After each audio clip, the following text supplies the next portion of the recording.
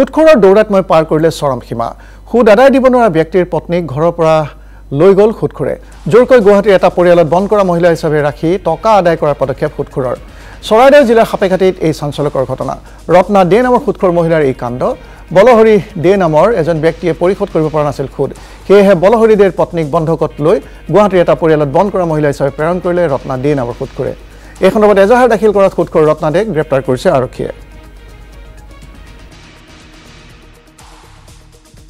মাইকী মানুহ আৰু মোৰ ল'ৰাটোৱে তাৰ পৰা বোলে পইচা আনিছিলে। কিমান টকা? কিমান টকা আনিছিলে সি কোৱা নাই কৈছিলে কি ষাঠি হাজাৰ আনিছিলে ল'ৰাটোৱে কৈছে ষাঠি হাজাৰ। তাই কৈছে এক লাখ পঁয়সত্তৰ হাজাৰ। সুদে মূলে মিলাই কিনে।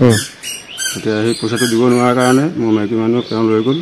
তেওঁৰ ভনীয়েকৰ ঘৰত কাম কৰিব। কোনে লৈ গ'ল? এই ৰত্নাদি। লৈ গ'ল মানে তাৰ ভনীয়েকৰ ঘৰত। এই কাম কৰিব কাম কৰাৰ বিনিময়ত ছয় হাজাৰ টকা দিব। ছয় হাজাৰ টকাটো তাৰ বেংকত জমা হ'ব। তাৰ একাউণ্টত জমা হ'ব বুলি। এই টকাটো শেষ হ'লেহে মোৰ মাইকী মানুহ আহিব পাৰিব আন এক ব্ৰেকিং নিউজ গুৱাহাটীৰ ৰাজপথত এখন বাৰ্ণিং কাৰ উৰণ সেতুত ডাউ ডাউকৈ জ্বলিল এখন চাৰিচকীয়া বাহন। শৰাঘাট দলঙৰ দিশৰ পৰা জালুকবাৰী অভিমুখে আহি আছিল বাহনখন। যান্ত্ৰিক বিজুতিৰ বাবে সংঘটিত হয় এই ঘটনা। অগ্নি নিৰ্বাপক বাহিনীয়ে নিৰ্বাপন কৰে জুই।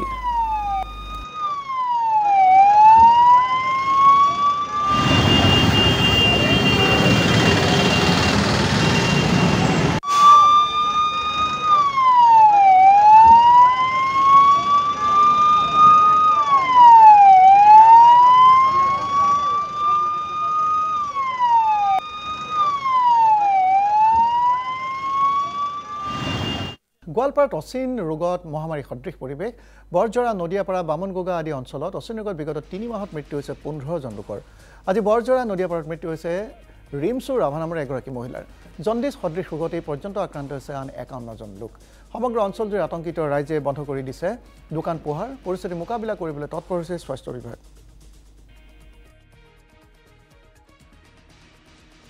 ৰাতি দুটাত আৰু।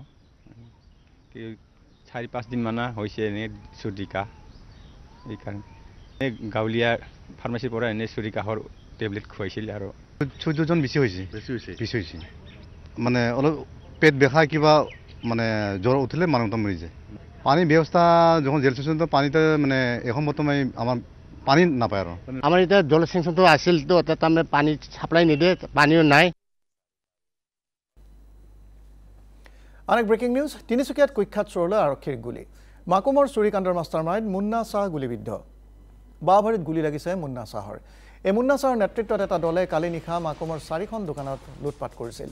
পুৱতি নিশা আৰক্ষীয়ে আটক কৰা কুখ্যাত চোৰটোৱে পলায়নৰ চেষ্টা কৰোঁতে গুলী চলাবলৈ বাধ্য হয় আৰক্ষী। আহত Munna Shah A M C এইচত চিকিৎসাধীন।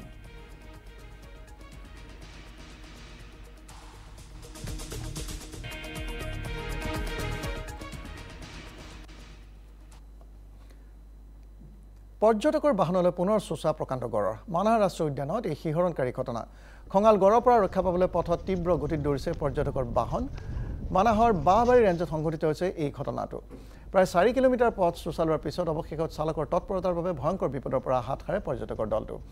আৰু দৃশ্য আপোনালোকে দেখিছে এনেদৰে এটা খঙাল গড়ে চোচা লৈছে পৰ্যটকৰ বাহনলৈ। মানাহ ৰাষ্ট্ৰীয় উদ্যানত এই শিহৰণকাৰী ঘটনা। পৰ্যটকৰ বাহন এইদৰে তীব্ৰ বেগত চলিছে মানাহৰ বাঁহবাৰী ৰেঞ্জত সংঘটিত হৈছে এই ঘটনা। প্ৰায় চাৰি কিলোমিটাৰ পথ চোচা লোৱাৰ পিছত অৱশেষত চালকৰ তৎপৰতাৰ বাবে ভয়ংকৰ বিপদৰ পৰা হাত সাৰে পৰ্যটকৰ দলটো